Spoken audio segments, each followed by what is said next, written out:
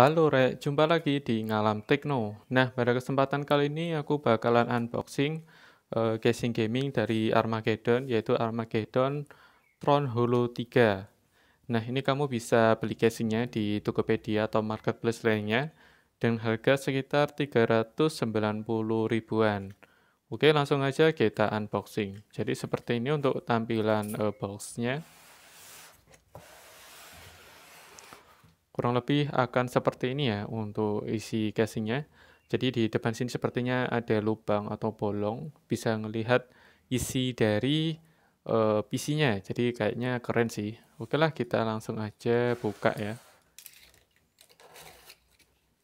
Oh ya, kalau kamu mau beli ini via uh, marketplace, pastikan kamu beli yang dekat dengan lokasimu ya, biar uh, ongkos kirimnya murah. Karena kan kalau barangnya berat seperti ini, uh, ongkos kirimnya itu lumayan.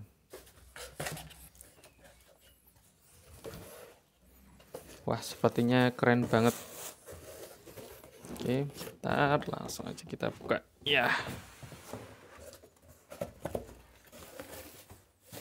Kita balik dulu. Oke. Oke.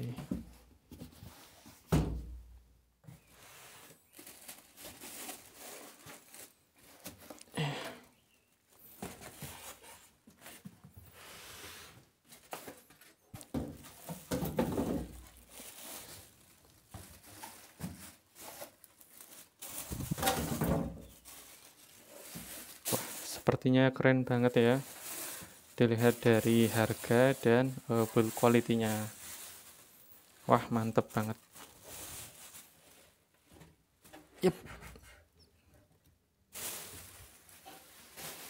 nah jadi seperti ini teman-teman. Uh, untuk uh, tampilannya. Untuk bagian depan sini ada lubang ya. Ini akrilik sepertinya. Akrilik kemudian ini bisa melihat dalamnya. Dan ada lampu LED stripnya. Jadi keren banget. Oh nggak bolong teman-teman. Jadi ini nggak bolong.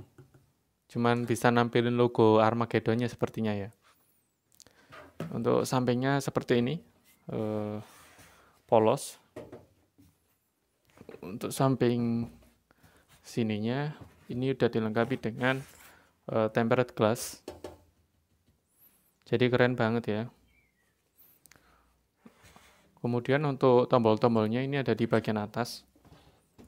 Cukup lengkap. Jadi ada uh, tombol power, jack audio, USB, tombol reset, dan ini mungkin buat ngatur uh, apa namanya lampu LED-nya. Dan di sini ada USB 3.0. Oke, langsung aja kita buka. Menurutku ini termasuk casing dengan uh, budget murah ya sekitar 390 ribuan. Ya bisa dibilang 400 ribu. Tapi dengan kualitas atau build quality yang menurutku sih mewah banget ya.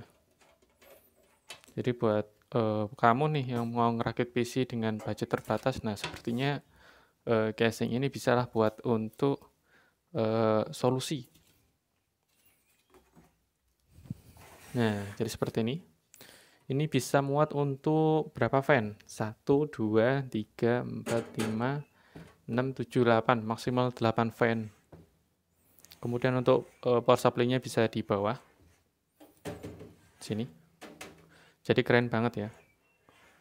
Nah ini untuk lubangnya sepertinya sih nggak bisa ngelihat dalamannya ya. Karena di sini tuh uh, ada apa namanya penampil LED sepertinya. Ini bagian sini. Sebelah sini jadi kayak e, buntu atau tertutupi dengan apa ya kayak cover gitulah. Kemudian kita buka e, bagian kabel manajemennya.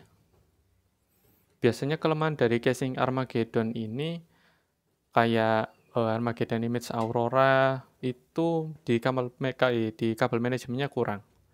Jadi kayak terlalu kecil, sempit gitu. Kalau di sini entah kita lihat aja dulu. Wah, sepertinya kalau di sini untuk kabel manajemen nggak usah ditanyakan lagi karena di sini udah luas banget ya. Kemudian di sini juga ada tempat buat SSD, SSD SATA, Nah, di sini juga bagus nih udah disediakan eh, apa namanya hard disk KD ya buat meletakkan hard disknya di sini. Biasanya nggak ada sih kalau yang image Aurora di sini nggak disediain. Mantap banget. Jarang-jarang ya untuk uh, front panel itu ada di samping seperti ini. Biasanya Armageddon itu di depan sini. Ini kok Dungaren ada di samping. Jadi sepertinya sih inovasi ya. Oke, cukup jelas. Kemudian untuk ukurannya ini eh, MATX. Jadi kalau kamu pakai motherboard sekelas apa ya, uh, Asrock A320M, pokoknya yang ya pokoknya ukuran MTX ini cukuplah. Lumayan lumayan luas sih, lumayan lega. Oke banget sih dengan budget eh, 400.000 ya kasarannya. 390 dibulatkan di 400 lah. Oke lah, sekian dulu uh, unboxing kali ini. Semoga videonya bermanfaat. Sampai jumpa di video berikutnya. Matur suwun. Nah, uh, jangan lupa ini nanti akan uh, saya rakit di PC ya. Jadi seperti apa kalau nyala, kalian tunggu aja di video berikutnya. Oke.